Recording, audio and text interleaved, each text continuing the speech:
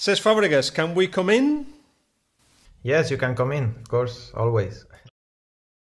Thank you very much. Just a little bit of context. You were born the 4th of May 1987. You play for the uh, uh, Ligue 1 club Monaco.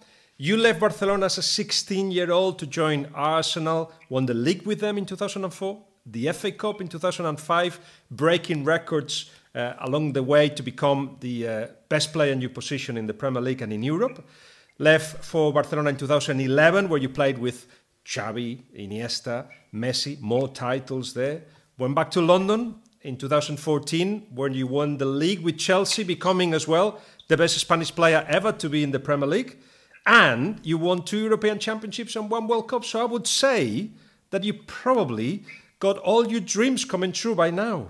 Well, nearly. I mean, you know, I couldn't have predicted I would have this type of career uh, when I first uh, started because um, everything was very quickly for me. It happened so fast, so I never really had time to think or analyze everything that happened uh, or the impact that uh, my decision of going to Arsenal had in, in my life. And uh, obviously, you know, I'm very proud of what I did. I've made a lot of mistakes. I've done some bad decisions, like everyone in life, but um, I cannot say I regret uh, many things in my career because I always try to do everything from my heart. Uh, yes, sometimes I have been a bit impulsive, uh, but I think uh, this quality or uh, have also given me a lot of strength and uh, character to, to keep going every day, to wake up motivated to, to try and be the best. Where do we find you? How, how is the confinement going for you? Yeah, the confinement is, is going well. I mean, you know, we're a family that we like uh, to stay at home all the time. To be honest, we don't live uh, much uh, home. So even if you don't believe it, my kids in four weeks have never even asked me to, to go out of the house, which is incredible. They are so happy at home with us. You know, we try to give them as much love as possible. Are you ready for some questions that you perhaps never been asked? No, yeah, I'm always ready. Always ready. Okay, so do you believe in God? Yes, of course, hundred percent. Who is He for you? Who is God for you? God is someone who who is always there for you. He's a light at the end of the tunnel. is someone who who's always trying to to give uh, good signs, who protect us, and who is always uh, giving the right spirit and, and motivation to do to do the right thing. Mm-hmm. What did you want to be as a kid? Ah, as a kid, I wanted to be a, a football player, hundred percent. There was there was never a plan B. You you you you weren't thinking of doing a you know being a painter or an architect or anything else. No, no, the, there was never a plan B because I started very young, and you know when when we are kids, you don't think about what uh, you want to do except when you are 18 and you have to go to university and you have to make a decision. But I never had to go through this. My career started at 16 straight away at the first team, so never had time to to think about it. But if I have to say something, probably if I didn't go to London so early in my life, I think I would have started uh, working for my dad um, in the summers, especially. He's a constructor in my in my hometown, so probably at 16, 17, I would have started working in the summer with him and, and see where, where it took me. So we all have recurrent dreams. Sometimes they are nightmares, sometimes they are nice dreams, but they are recurrent. Will you share a recurrent dream for you?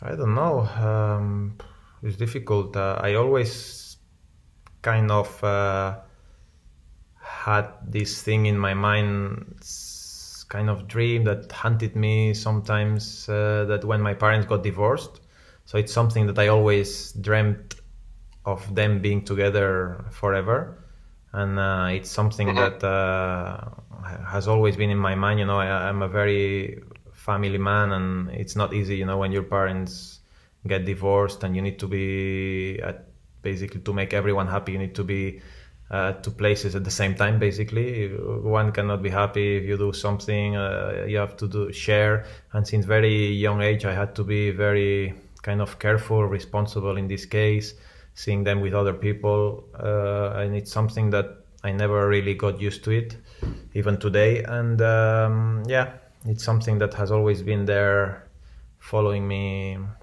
since it happened. A book, your favorite book? A book. Um, I liked reading books of Xesco. Sí, Xesco Espar. He gives a lot of uh, motivational speeches. He talks in his books about how to motivate yourself, how to um, live the day to day as a sportman, and and you know how to how to educate yourself uh, as well in certain moments of your career when things don't go as well also when things go well because sometimes that's dangerous when things go too well for you you know you, you need to know how to react to any kind of situation. It's it's kind of interesting and it's this is the part of the game where i'm more uh, interested. A video game. Uh, I didn't play video games since I had my first child, so probably always a football game, uh, FIFA or PES. That's the two. I, am I'm very bad at the other. I try to play these hunting games, Call of Duty. Uh, I don't know the other ones, but uh, I'm really I'm terrible at them. Basketball, tennis, only football I was good at.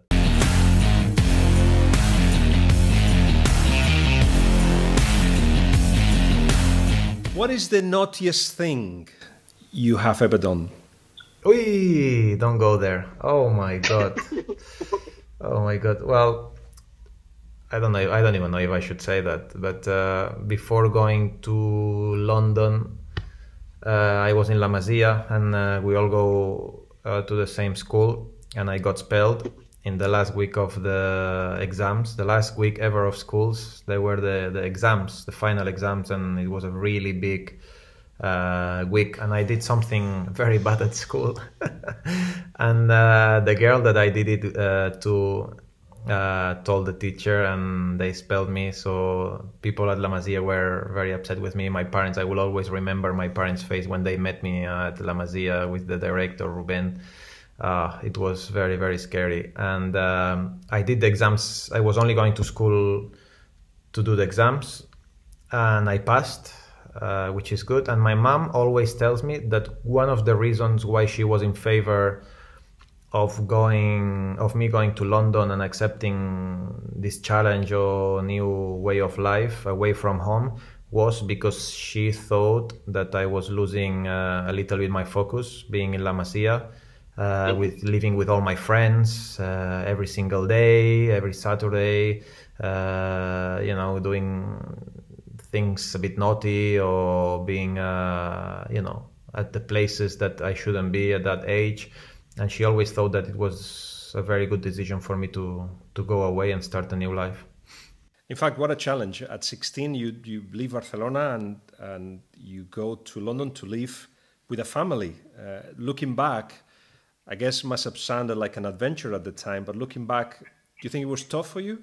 Not really. Um, I always, everyone tells me, oh, it must have been so tough and difficult to be there by yourself. But my passion and my dedication, my, my, my determination to, to succeed and to be good and to show that I was good enough to start playing for Arsenal was so big that I never really thought about it.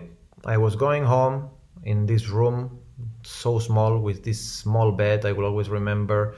Uh, no TV, only a, a, little computer, and and just resting, going to training, resting, going to game, going home, and then I was with Philippe Senderos. Sometimes we were playing video games. Uh, so yeah, my, my my main focus was just to be good at football. That's the that's that's my main uh, objective and, and that's it that's why I, I never really felt it was difficult i was just trying to enjoy the moment and be the best what not many people know is that uh, at 16 you could have been at arsenal with gerard piqué and messi as well how, how close was that I knew they wanted them. They, they wanted us, all of uh, us three. I mean, obviously, it's very difficult uh, to get probably three of the most uh, how can I put it um, with most future at the club to take them from one same team to to to in this case Arsenal or Man United. I mean, I remember I had also Man United. Uh, they were following me. They wanted me to go there. But once I once I went to to London Colney and I met Steve Rowley, Francis Cagigao, Arsene Wenger, and David Dein, For me, it was all over. Uh, I knew I wanted to be there and uh, nothing else. For Gerard Piqué, it was the opposite. Uh, as well, Man United and Arsenal wanted him. He went to Man United and he preferred that. Uh, and Leo, obviously, um, you know, with uh, all the treatment that he was having, and with uh, his father and himself having moved to Barcelona only three years before, I think they were having a big project in front of him. Maybe not the same for me and, and Gerard. It was a bit different. They was coming from from outside, and everyone, uh, you know, was was thinking that he could be the next big thing and uh, yeah, everyone has their own life and their own decisions, and it went well for for three of us, to be honest. Who would you take for dinner? Oof. I would have to think this carefully. I think maybe one of these legends of uh, another sport, like uh, maybe uh, LeBron James, Michael Jordan, uh, mm-hmm. obviously Kobe Bryant, uh, may he rest in peace. I would have loved uh, maybe to to go on a kind of date or have dinner uh, with them to see how it is, you know, being a sportsman in another type of completely different sport and how they they live their life, their their, their passion for for the game, and yeah, I think I think that that could be a good one. Now, what is the most surprising call that you got this week? This week, uh, from my great grandmother from the from the residence where she is. Uh, she's 95, uh, and yeah, she called me two days ago, and it was the most uh, satisfying call I I've had all week and the whole month and the whole of last six months probably. is she okay? Is she in a, is she in a good mood? Yeah, she's in a good mood. Uh, poor her, she, she's got the the coronavirus, so yeah, we're a bit worried in the family because she's alone in the residence and we cannot see her. You know, we cannot talk to her whenever we want, and uh, even a hug or tell her that we love her so much. So yeah, it's not uh, it's not an easy situation for all of us, but uh, but yeah, we we can talk to her once every two three days, which is satisfying for us. Yeah. Oh, we wish her we wish her well, Cesc. Thank you. What do you wish you had done? What in my life? I wish I had gone to to university. Yeah. Um, as much as people think that we can do both things and it's very very difficult i don't know i don't i, I talk for myself here and uh, I tried when I was at Arsenal. I tried to study in English, and uh, I've done a few things. But when you are a competitor and you are a professional athlete, and I don't know, I, I, as I said, I'm talking for myself. I live training, and if I didn't have a bad training, I'll be upset. If I had a good training, I will always be thinking about tomorrow and uh, the next game. And you play every three days, and now you're traveling. Uh, my life the last 17 years has been football, football, football, football. I mean, uh, you you get frustrated, you get upset, you're happy, you're thinking for the next move, next game. What did you do well? What did you do wrong? Uh, critics from the coach, from I don't know, someone like Francis Cagigao, always in my head, uh, you know, telling me I didn't play well, you didn't put your your foot there, you know, you have to do better in this, in that. So it's an obsession. It just becomes an obsession. Uh, even now, you know, I'll be 33 now in, in, in two weeks, and it it never changes. This this is a way of life, and you know, yes, my kids have helped me a lot to have a bit of a, more of a peace of mind. I always put, but like if we lose a game, I always put it on myself. I always thought I lost alone. It was my fault and I was very, very, very hard on myself through all my throughout all my career, and uh, I think people tell me that I kind of killed myself and that I this is not good for my health and stuff. But I think this kind of helped me to arrive where I arrived and to push myself every single day to be to be better and uh, this never leaves you yeah as i said my kids help me sometimes but even you know i have a bad training or a bad game or something like that or i didn't play or I think I could have done better. Unfortunately, you paid with the ones you love. I paid it with my grandpa, with my with my parents since I'm four years old.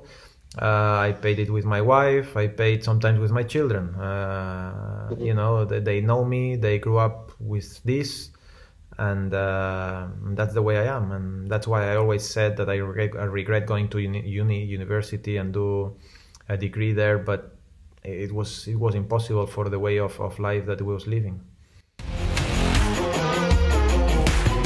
Fancy coming in?